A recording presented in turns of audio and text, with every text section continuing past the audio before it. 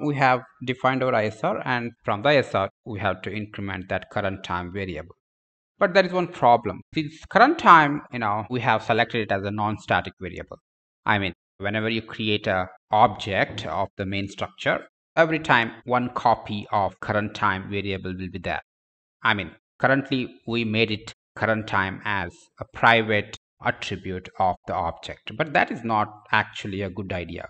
We'll make some changes here. We'll make it as a static variable. That means a single copy variable, which is generic to all the objects of this main structure. Because that makes sense. The current time variable can't be a private variable of each object because a current time variable tracks the time. Time is same for all the objects of this main structure. Let's consider a scenario, you know, you have created two objects, object 1 and object 2 of this main structure. Let's say object 1 drives display 1 and it displays time zone x time in 24 hour format, let's say. And object 2 drives another display and it displays time zone y's time in 12h format. No matter how many objects you create, the time is the same.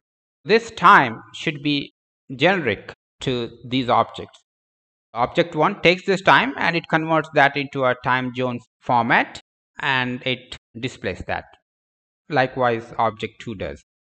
That means we will keep this attribute outside this object. That means we will make this current time attribute as a static variable. That would be a good idea. That's why what I'm going to do now here, select the current time and make it as static. And let's give one class operation. This is a class operation to get that current time. So get current time. This class operation, I want to make it as a static one because it accesses the static attribute, what we just added, that is current time. It just returns the current time. I will keep the return type as uint 32 underscore t and you can make this as public, no problem. Visibility, it doesn't matter actually here. I mean in C, you can keep this as public. This doesn't affect this uh, function. And code will put later. Actually this you know returns the value of current time. We will now generate the code. Code is generated. Let's look at the code. As you can see here now the current time variable should disappear from here. I'll close this. And let me generate the code once again. Here you see the current time now went outside. So now it came here. This is a get current time. Get current time static function to return the value of this variable. We'll implement this function later. Now let's implement another function or another class operation, add operation. And here I'll call this as update current time. The return type is void and this is also a static function why it's a static function? Because it cannot access any private variables of or private attributes of clock alarm. It can only manipulate the static variables like current time. And also note that as I mentioned in the previous video, the static class operations will not have access to the me pointer. Now let's generate the code. Let's go back to the code and here you see we got this function clock alarm update current time here we'll put some code. If we have to increment this current time variable plus plus is equal to if it is equal to let's say max time then we'll make this as zero.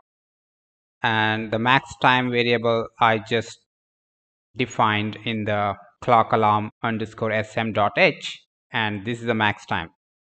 This is actually 24 into 3600 into 10 that's the max time. In the sm.h please define that macro.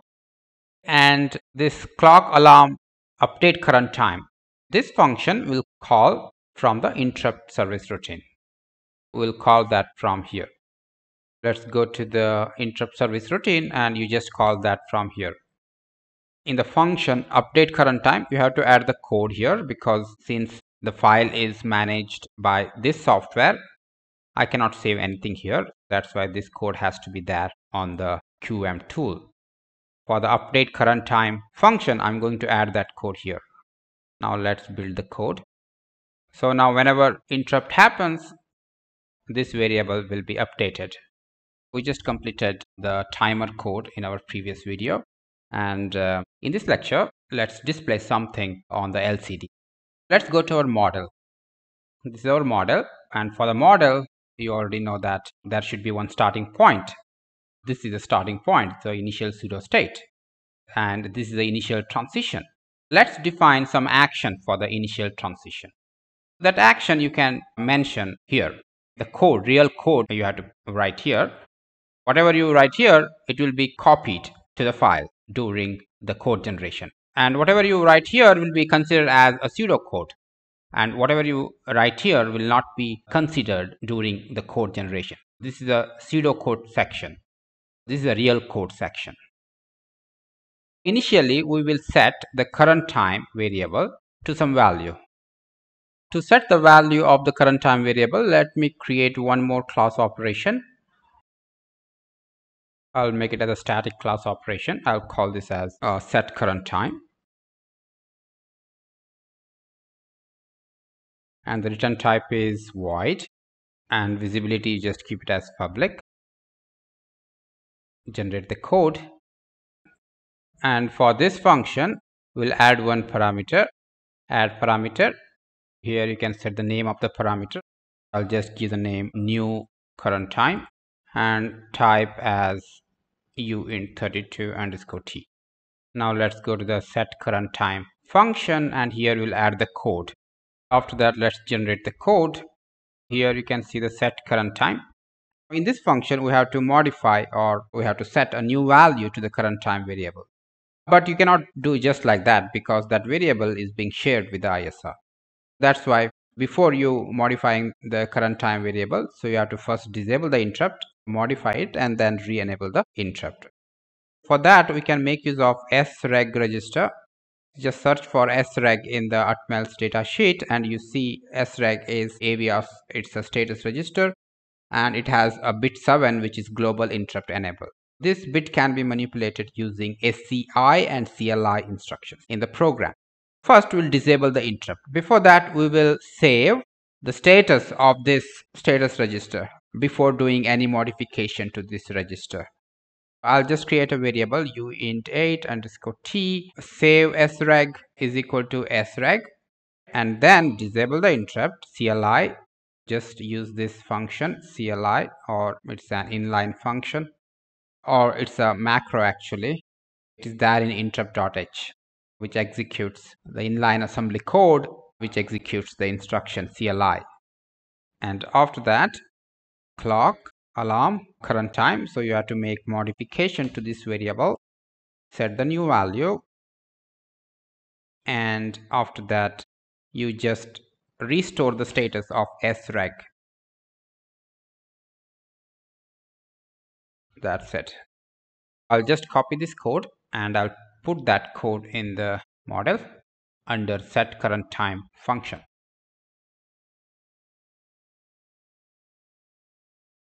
let's go to the model and let's call that function. Set current time. We will assign some new value. I'll call this as initial current time macro which will define this macro later. And after that for the alarm time also we will assign some initial value. I'll call this as initial alarm time.